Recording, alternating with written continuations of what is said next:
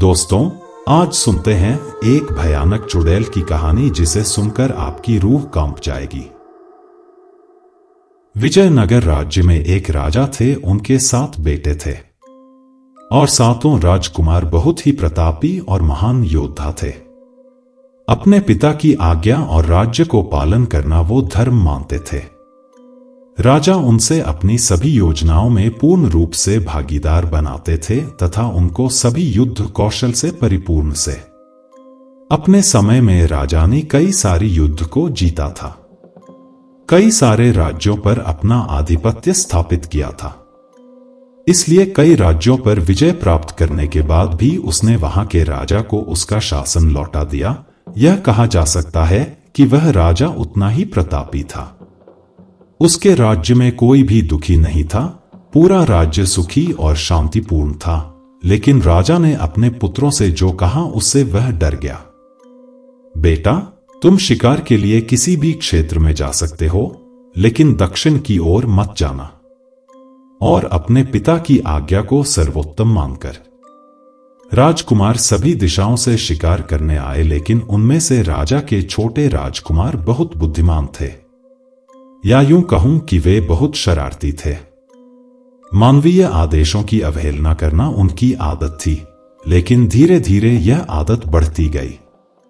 और एक दिन उसने शाम को अपने भाइयों को शिकार में व्यस्त रखा और कुछ ही समय में उसने उन्हें बता दिया कि, भाई, मुझे लगता है कि उसके पिता ने हमें अनुमति नहीं दी।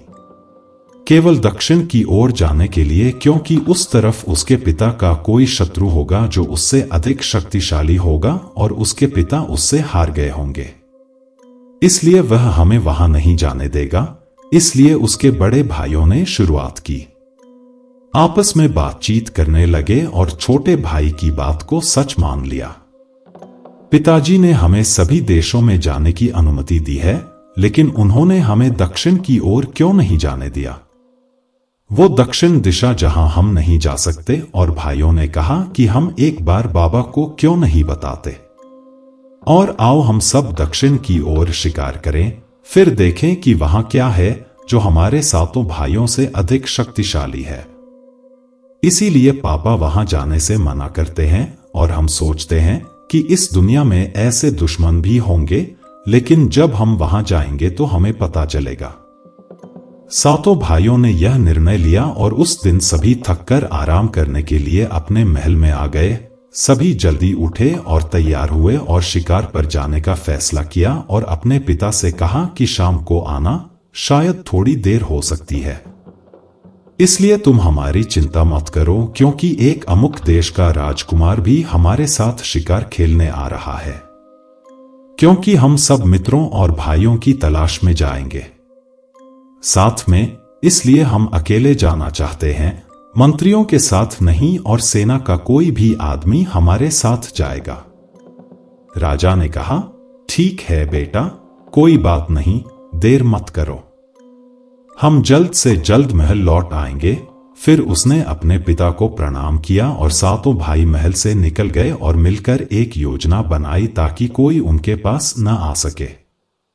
सातों भाइयों ने अपने घोड़े एक पेड़ से बांधे और भेष बदलकर निकल पड़े, लेकिन वहाँ जंगल के अलावा कुछ भी नहीं था, कोई गाँव नहीं था, कोई घर नहीं था, यहाँ तक कि किसी व्यक्ति का नामो निशान भी नहीं था।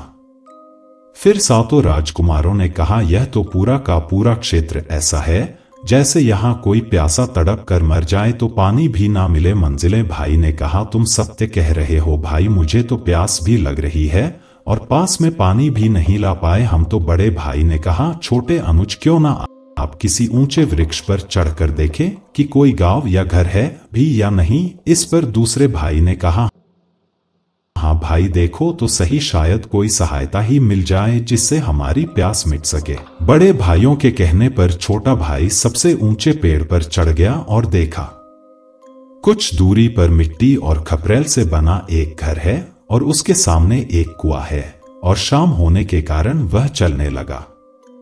उस घर से हल्की सी रोशनी आ रही थी, जिसे देखकर छोटे भाई की आँखों में चमक आ गई और उसने अपने भाइयों से कहा, भाई, यहाँ कछुए का घर है, यहाँ से कुछ ही दूरी पर। सामने एक कुआ भी है। और मैंने देखा कि शायद वहाँ कोई रहता था, क्योंकि उस घर से दीपक की रोशनी आ रही थी। यह सुनकर थोड़ी देर के लिए सभी की थकान कम हो गई और सभी लोग तेज़ी से उस घर की ओर चल पड़े। जाते जाते वे उस घर के सामने जाते हैं और वहाँ देखते हैं कि कुएँ में बहुत सारा पानी है। उस कुएँ के पास उनके पास पानी निकालने के लिए एक बाल्टी है, लेकिन वहाँ कोई रस्सी नहीं है। इसलिए बड़ा भाई छोटे की मदद करता है और कहते हैं, प्रिय अनुज, जाओ और देखो कि उस घर में कौन है। और उससे हमारी प्यास बुझाने के लिए एक रस्सी देने का अनुरोध करो। भाई के कहने पर छोटा भाई उस कमरे का दरवाज़ा खटखटाने लगा तो एक खूबसूरत लड़की ने आकर दरवाज़ा खोला और पूछा कि आप कौन हैं? कुएँ के पास एक बाल्टी है, लेकिन रस्सी नहीं है। कृपया रस्सी ताकि हमें पानी मिल सके। लड़की ने कहा, मैं पहले अपनी बड़ी बहन को दूँगी, उसने कहा। उसकी बड़ी बहन आई और बोली, भाई, हम सब एक साथ रास्ता भटक गए हैं। इसलिए कृपया हमारी मदद करें और पानी पिए। तब बड़ी बहन ने कहा, हम एक शर्त लगाते हैं। यदि तुम स्वीकार करोगे तो हम तुम्हें रस्सी देंगे। तुम यहाँ से जा सकते हो।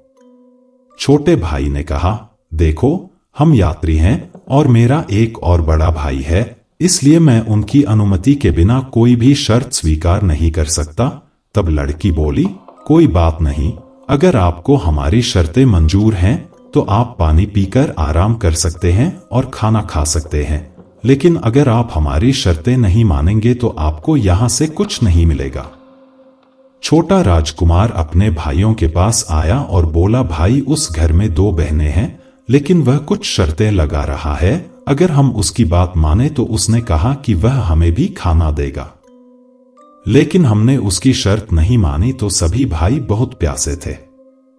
सभी भाई थक गए थे, इसलिए उन्होंने छोटे भाई से कहा, प्रिय अनुज, तुम जाओ और उन्हें बताओ कि हमने उनकी प्यास बुझाने के लिए उनकी सभी शर्तें स्वीकार कर ली हैं। यह आदेश कहकर छोटा भाई उन कन्याओं के पास आया।